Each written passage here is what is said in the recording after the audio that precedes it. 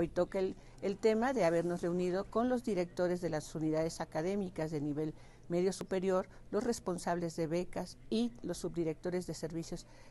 educativos de cada una de las unidades para este, darles a conocer cómo se llevará a cabo este primer, este primer acercamiento, esta etapa de censo de toda la comunidad estudiantil que cursa la vocacional en el Politécnico. Nos ha permitido aclarar ciertas dudas que se tenían a lo largo de, estos meses que, inició, que inició esta,